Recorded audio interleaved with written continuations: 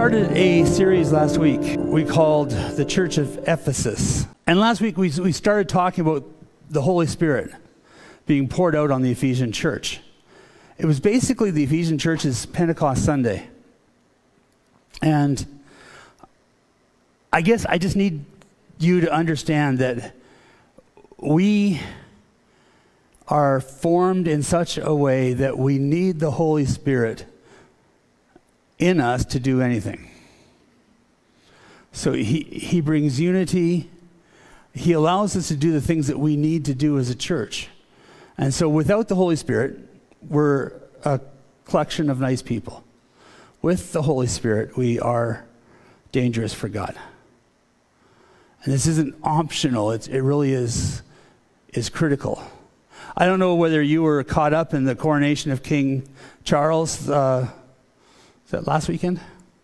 It's been so long. Uh, but I'm a bit of a, a political watcher, royal watcher, so I did watch some of the coronation and read some of the news articles that have come out since then. And apparently, um, King Charles had a very important audience with one of his subjects just before the coronation.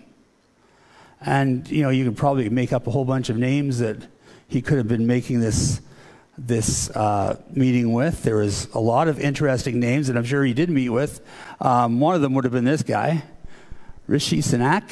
He is the prime minister of the United, of, of United Kingdom, and he's the first non-white person to take care, place in the, in the coronation. He's the first non-Christian to take care, take place, or take part in the coronation. And for me, it was just really interesting to watch this Hindu um, person reading from Ephesians at the coronation. It just kind of, I don't know, that probably didn't mean anything to anybody else, but that kind of tickled me. I just love to see him reading Ephesians. And I get there's a lot of baggage with the whole you know, royal family. I get that. But we've also got to find a way over and through the baggage that we have. Whether it's with them or with somebody else, we've got to somehow get past this. And again, that's only if the Holy Spirit's alive and active that we have any chance of doing that. Anyways, important meeting was not with the prime minister. It was not with the original um, it wasn't with the officials for the, court, uh, for the coronation. Um, the, the important, important audience that he had was actually with a nine year old boy who had a problem that only the king could fix.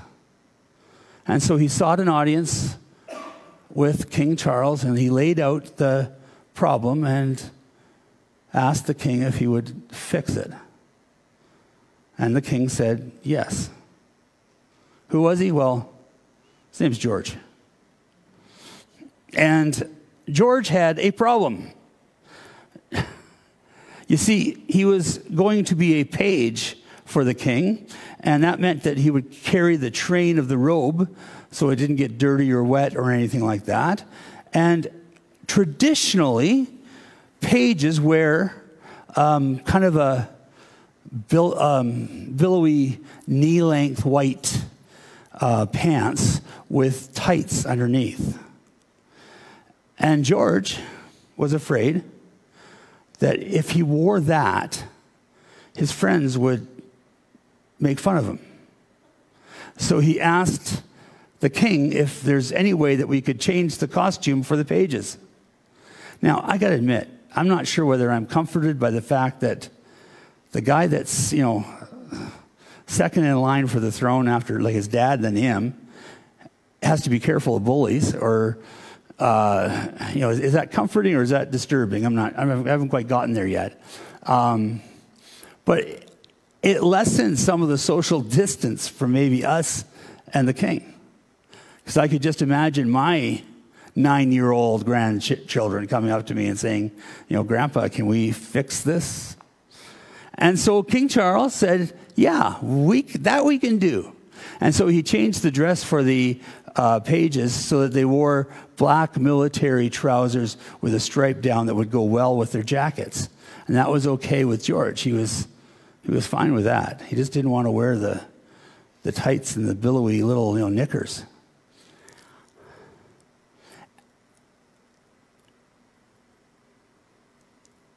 We serve a Father, a God, who wants to give us good things.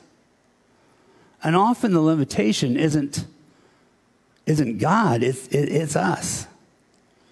We don't feel good enough to be able to take from Him. We take a little bit, but not all of it. And sometimes, you know, I think it's, it would be like George saying, okay, thank you, Grandpa, and then, and then going out and dressing up in uh, uh, clothes that was like one leg was the military pants that Grandpa had okayed, and the other leg was the billowy white and tights. And I think if Grandpa saw him like that, he goes, you know, George, I love you, but you look stupider that way than you do if you just wore one or the other. And yet, that's sometimes exactly what we do with God. We, we take part of what He wants to offer us, but we won't take the whole thing.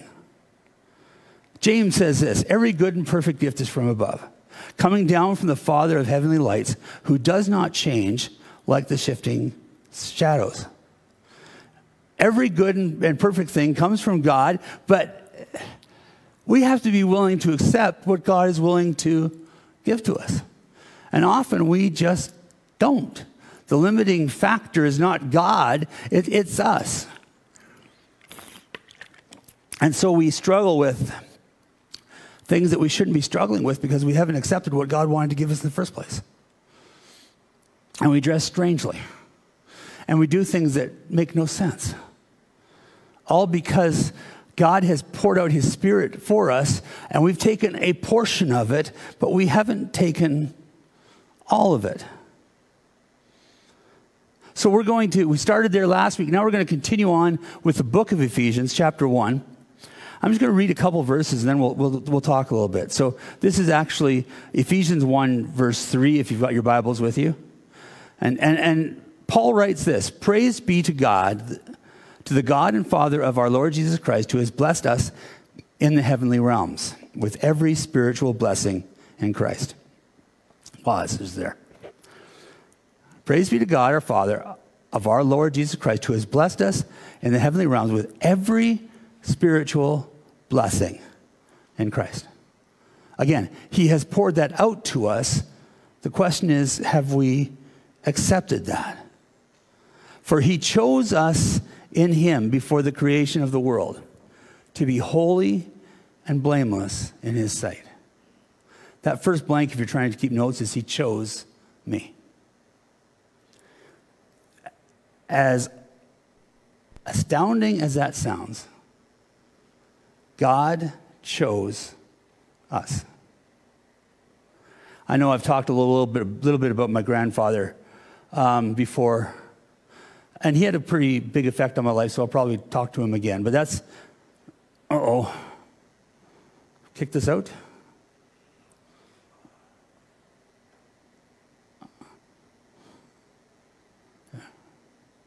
There we are. Grandpa uh, was a song evangelist, what we called it back in the day, which just meant that he went from church to church, assembly to assembly, camp meeting to camp, camp meeting, singing. That was how he, he made his living. He, he published a lot of, uh, of records. This one, actually, this one, I did something very strange, um, considering who I am. Um, I found this one on eBay. Uh, it was in good condition, and it was autographed by my grandpa. And so it was like 50 bucks or something like that. They were asking for it, and I'm going, yeah, I think I'll buy that. You know, it's grandpa. I'll, I'll, I'll, I'll, pick that one up. It's got his autograph, uh, it's got a scripture verse on the back of it. Um, but he did this for until he retired, a number of years. And one of the songs that he sang when he would go places was a song called He Chose Me. And Neld and I have actually sung this, the song as a duet, but um, this song was more than just a song Grandpa sang. It was a statement of his testimony and amazement that God would choose him to do what he did for his life. And the opening words to He chose me are this There are so many others that He might have chosen to follow Him, others with learning and greater distinction to follow Him, men with authority and forceful ability who, knew, who know how to speak and be heard. I don't know exactly why I'm here at all, but today I follow my Lord. This was Grandpa's testimony. He, he chose me. He could have chosen anybody, but he chose me. And if there's one thing I think Grandpa's passed down to me is this amazement that he had that God would choose him, that God would choose me, that God would choose us. You, are, you are the choice of God. He looked down and said, I, I pick you. I want you on my team. And too often we're kind of going, Really, God? Like, do you know who I am? Right? Like, why would you, why would you do that? One of my favorite apostles is the Apostle Paul. This is how he looks in uh, the TV series The Chosen. Uh, but I love Paul. I think I like Paul because he's kind of a little bit like me, or I'm a little bit like him. Um, and, and I don't mean that in a good way. Paul had a, or sorry, Peter had a, had a, had a way of having his mouth in neutral, sorry, his mouth in gear while his brain was still in neutral. You know what I mean? And I'm like that a lot. I got my brain in gear, my, er, sorry, got my mouth in gear, my brain's in neutral. I'll get that right sooner or later. But you probably, I mean, you remember the stories of Peter. He's always kind of, I don't know, just getting in, in trouble. So on the day that Jesus calls him, there's he's down by the Sea of Galilee, and, and Peter's been fishing, and he's cleaning his nets and cleaning up the boat. He's done for the day. And all of a sudden, Jesus appears on the shore, and there's all these people that are gathering around him. And Jesus says, Can I, can I like stand in your boat to talk to these people? And Peter goes, Sure, go ahead. And so Jesus stands in the boat. He teaches, you know, the people that gathered at the shoreline. And then after he gets done his teaching time, he, he looks over at Peter and says, Peter, follow me. Remember Peter's reaction? Are you kidding? You don't know me. I am a man of unclean lips. I speak things I shouldn't speak. You know, and I know this about myself. I, I do things I shouldn't do. I speak things. I, I, think you've got the wrong guy, Jesus. You know, there's a lot of good people out there, but but I, I'm not that guy. And rather than be put off, Jesus looks at him and says, "Follow me." And Peter decides to follow him. And that's the end of the story. Well, not really. Uh, remember, again, time Jesus was gathered with his, with his disciples. Uh, a lot of people had left because he had a hard teaching for them. And he asked the question, Who do the people say I am? And the disciples all came up with a bunch of different answers. Some say you're Elijah. You know, some say you're, you're the prophet. Some say you're Moses. And then Jesus says, Who do you say I am? And Peter? Peter goes, you are the Christ, the Messiah, the Son of the living God. And Jesus responds back to him and says, And on this rock I will build my church. Now, just a little note on this. I've heard sermons that think that the church was built on Peter, the rock. I don't think so. It's on the confession of Peter that the church is built, that he is the Messiah, the Son of the, of the living God. It's still the rock on which the church is built, is when we confess that Jesus is the Messiah, the Son of the living God. And so Jesus looks at Peter and says, You're right. And on that, I will build my church. And then they start talking about something else. And Jesus talks about the struggles that are coming. And Peter says, No, no, that's not going to happen. And Peter looks at this person that he's just said that the, his confession was the rock that he's going to build a church on and says, Get behind me, Satan. It's got to be a really big flip for Peter, you know?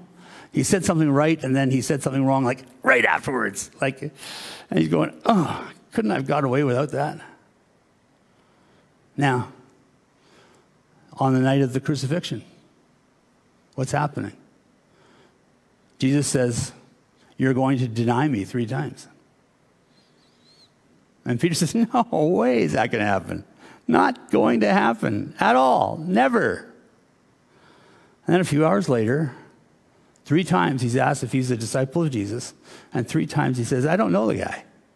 Never heard of him. Who are you talking about? Now, again, in Peter's defense, him and John were at the trial. they were there among the people. The other nine, Judas was gone by this time, but the other nine were all hiding in basements somewhere, trying to make sure nobody would find them. So they didn't deny Jesus because they weren't anywhere to be found. At least Peter could be found. But he did deny Jesus three times, which caused a rift between Peter and the disciples and Peter and Jesus, especially in the mind of Peter. So a few days later, he's out walking with Jesus, the resurrected Jesus, on the shore of the Sea of Galilee. And as they're walking together, just the two of them, Jesus says, Simon, son of John, do you love me? And there's arguments about whether this means anything. I, I, think it does. But Jesus used a very specific name for love. There's, there's lots of love in Greek. But he used a very specific form of love in, in the Greek agape. Jesus, or Peter, do you, do, you, do you love me? And Peter responds, Yes, of course. I phileo. Different love, you brotherhood love. Philadelphia. Think of Philadelphia. City of brother, brotherhood love. I love you. And they go a little while longer, and Jesus says, Simon, son of John, do you love me? Agape. Again. And again, Peter answers with phileo. Yes, I have brotherly love for you. And I think there's something going on inside of Peter that's saying, How can I say I love him? How can I raise this up to agape love when just a few days ago I, I, I denied him? How do I do that? They could walk a little further. And then Jesus actually says, Simon, son of John, do you phileo me? And it says in the Bible that Peter was hurt. No, I don't think it was because he asked him three times whether he loved him or not. I think it was because he changed the word. It's the one that he was using. And Peter says, Jesus, you know me. You know everything about me. You know that I, phileo, I love you. And, Peter, and Jesus goes on to say, Feed my sheep, take care of my lambs. We see this as the reinstatement of Peter into the disciples. Jesus saying, I know what you did. I know who you are. I still choose you. I still want you. Even with everything that's happened, I am still choosing you, just like I chose you back on that day when we were in your boat. With everything that's gone on since then, I am still making a choice. I still choose you. I think sometimes when it comes to us receiving what God has for us, we come to Him and we go, Yeah, but there's a whole bunch of stuff in my life. There's stuff that I haven't taken care of yet. So, no, I am not going to accept this blessing. No, I'm not going to take communion. No, I'm not going to join whatever because I'm not good enough for God to choose me. And God's up there going, I choose you. I know what I'm getting into. I know who you are. I still choose you. Peter still did stuff he shouldn't have done, even after that. He had an argument with Paul because Peter was afraid to take on the, the Jews head on.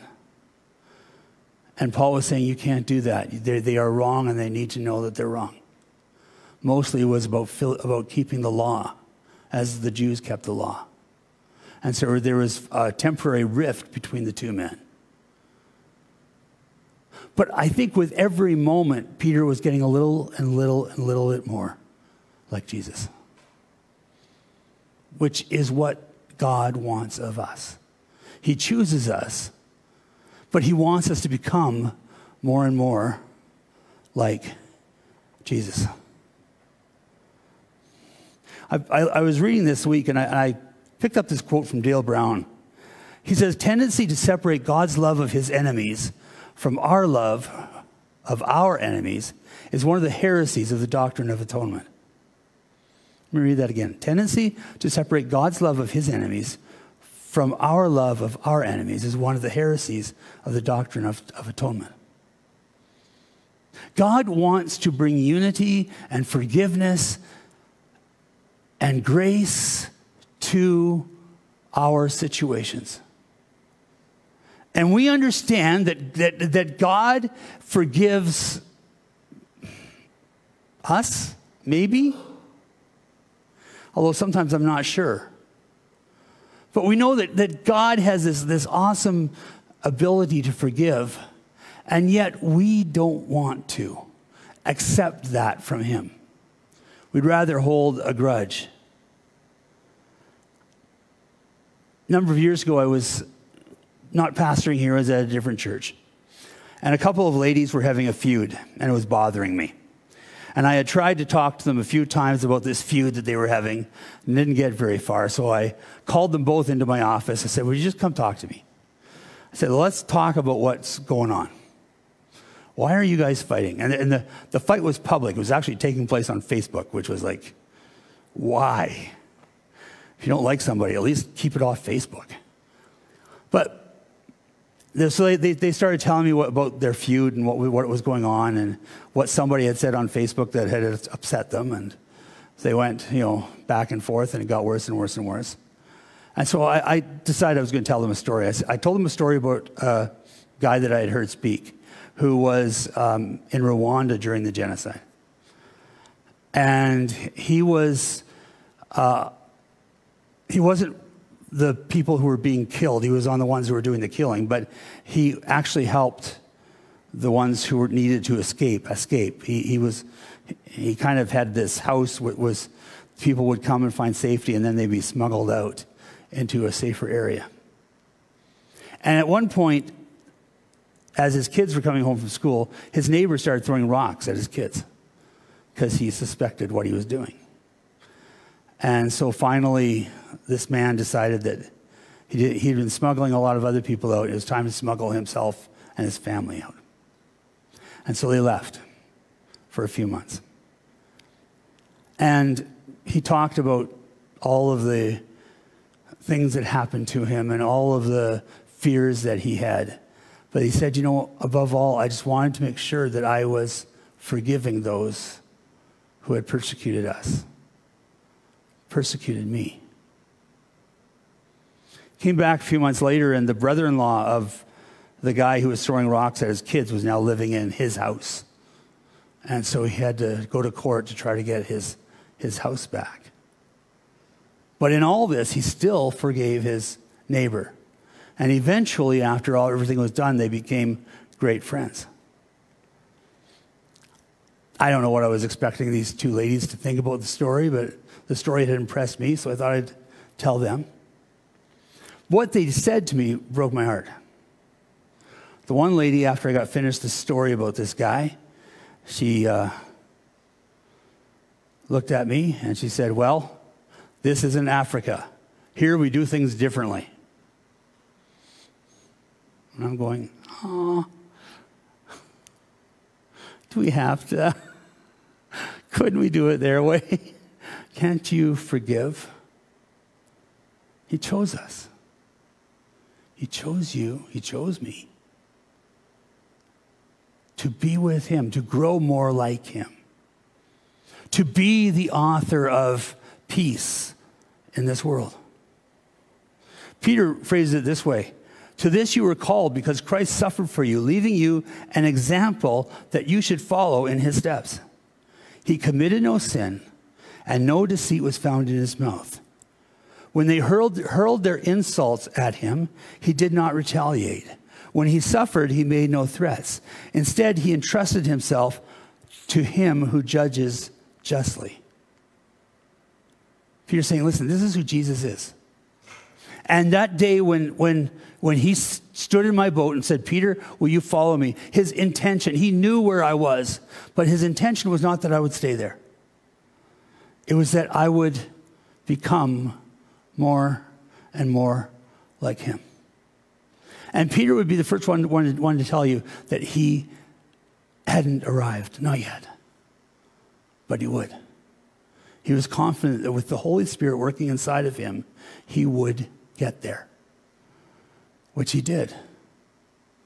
In fact, he did a very Jesus thing at, the time of his death. He was sentenced to be crucified, and he asked to be crucified upside down because he didn't feel like he was worthy of being crucified the way that Jesus was. In humbleness, I want to do something not to be, not to be mixed up with Jesus. I'm still not quite where I need to be. Our journeys are like that. They are not changed in a, in a night. But as we journey with Jesus, we become more and more like him. In love, he predestined us for adoption to sonship through Jesus Christ in accordance with his pleasure and will. To praise to the praise of his glorious grace which he has freely given us in the one he loves. That next blank is just simply the predestination of love. Predestination is a word that in church circles we like to fight about. Who is it that's predestined?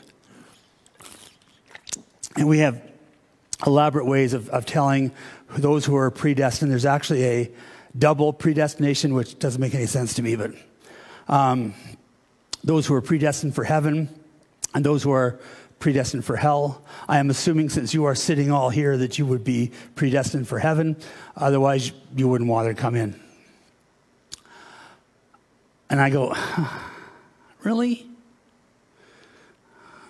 I'm not convinced.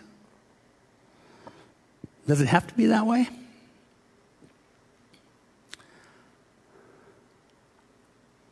So, Jesus calls a prophet to be with him. His name is Jonah. And he says, I want you to go to Nineveh.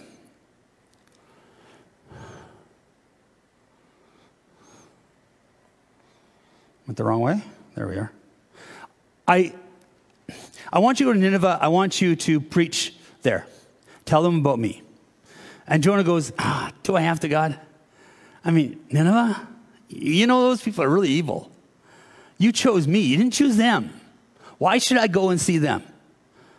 And God says, Go. I'm telling you, I need you to go to Nineveh.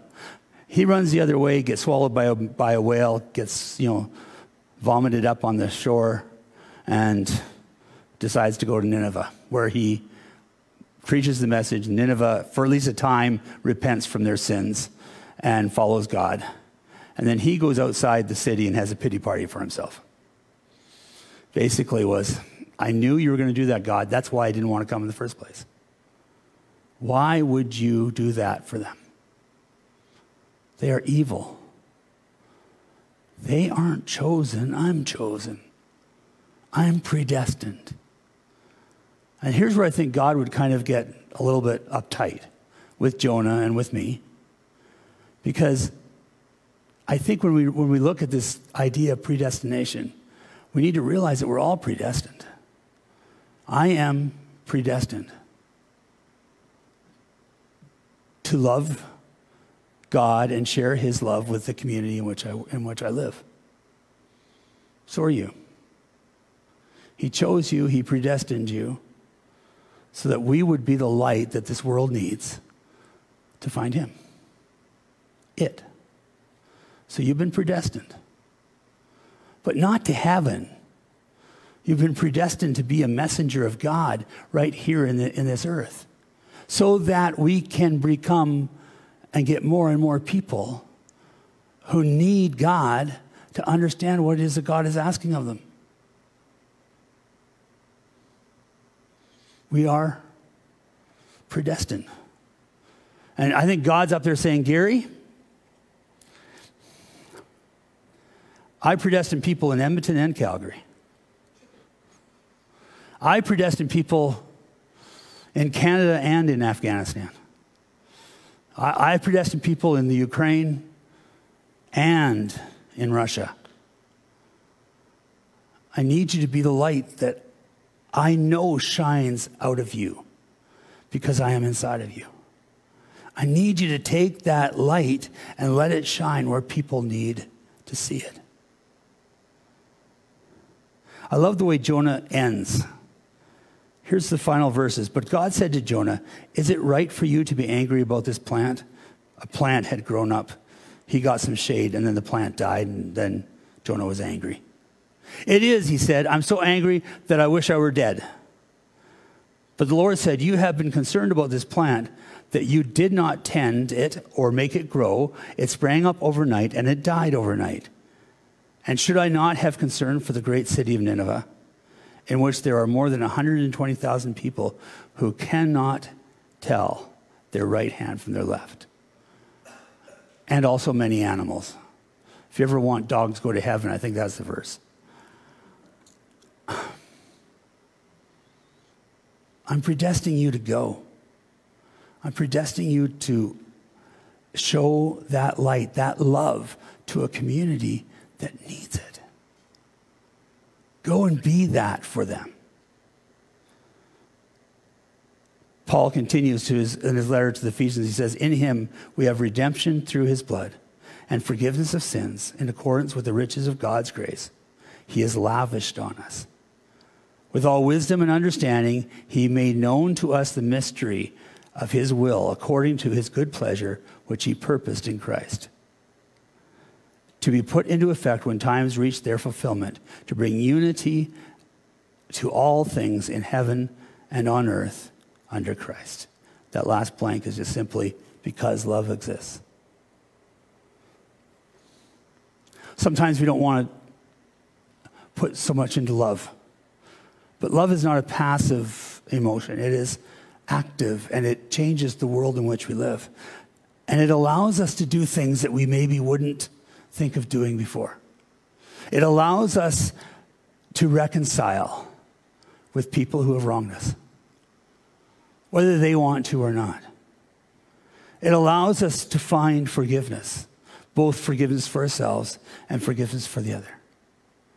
It allows us to be unified in spite of all of the ways that we like to divide ourselves through all political or racial or economic divisions, God says, through my Holy Spirit and love, I can unify you. I can bring you back together. And that's the only hope for a church like ours.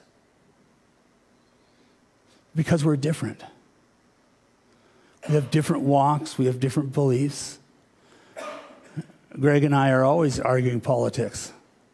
He doesn't realize yet that I'm right, but he will someday.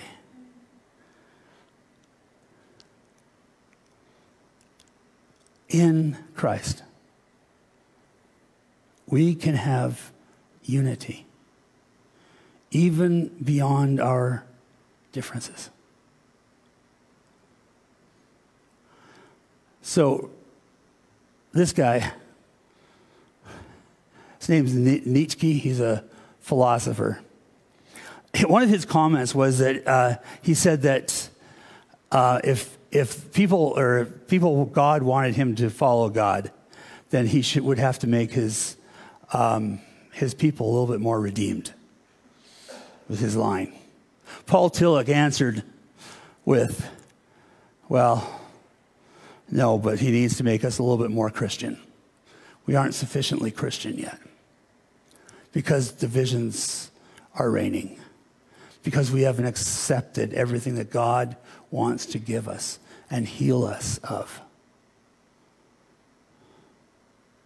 But it's all done in love. We need the Holy Spirit to fill us. And that doesn't mean that you're going to do weird things, although you might. Who knows? Some of us do weird things without the Holy Spirit. But one thing the Holy Spirit will do is allow you to love beyond barriers. The question, whenever I talk about love, that I get asked is, well, yeah, but I've got this one guy in my life. You know, he's a real idiot. Do I have to love him? And the answer is, yeah, you do.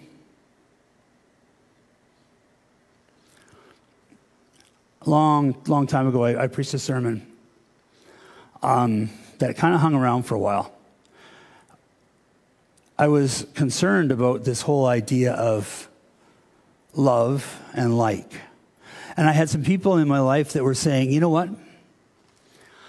I am commanded in the Bible to love you, but I'm not commanded to like you. So I love you, I just don't like you. I mean, what would you think if I was walking out of here this morning and I stopped to talk to Jerry and Rita and I said, I love you, man. I just don't like you. It's okay. I, I like you. It's, it's fine. I mean, what do you do with that? And I said to, to these people in, in my life, I'm going, well, you switched. You put like over love. So you, we're commanded to love, but we're not commanded to like. So I don't have to like you. I just have to love you. And I go, that's messed up.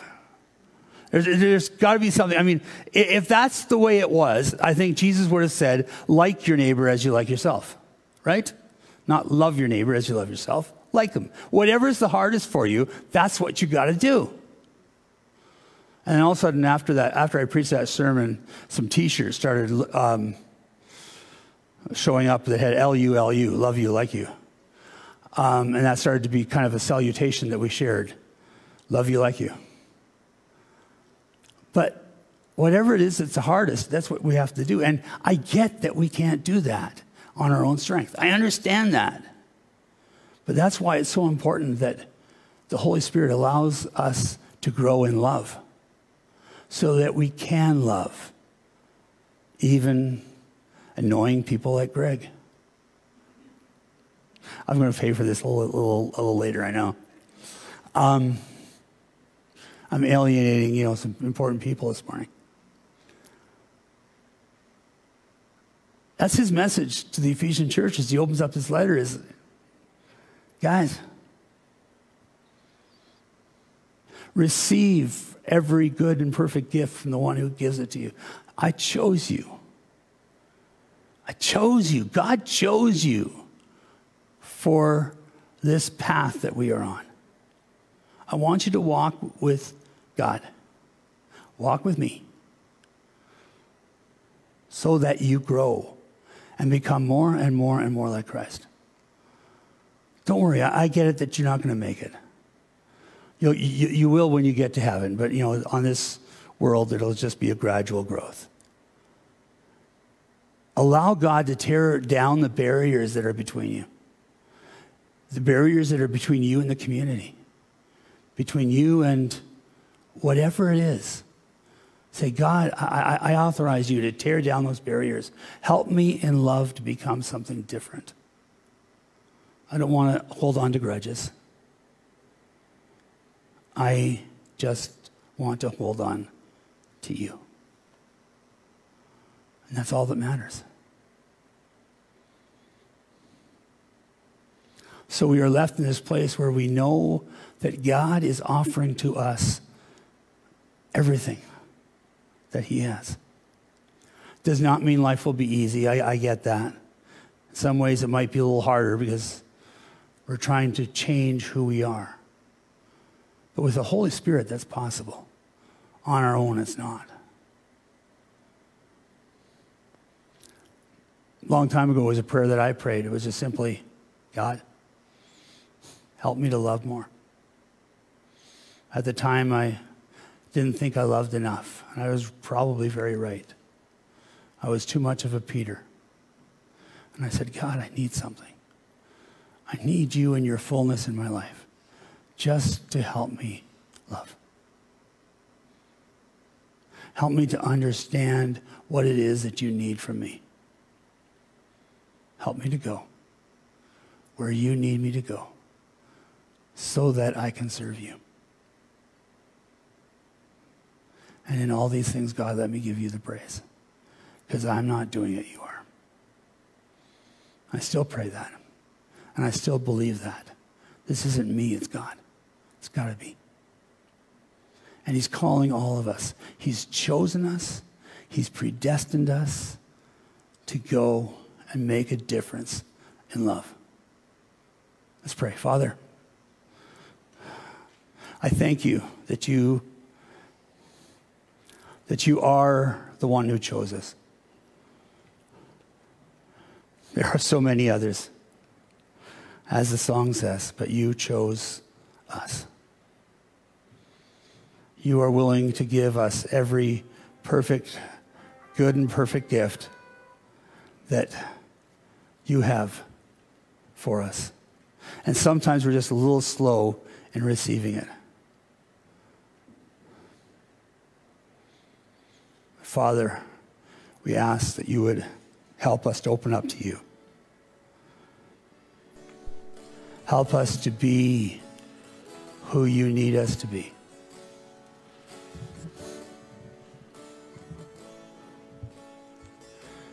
Help us to understand where you are sending us and how it is that we need to grow to become more and more like your son, Jesus. Holy Spirit, come into this place. We invite you and minister to our hearts. And we pray this in the name of Jesus. Amen. Jesus.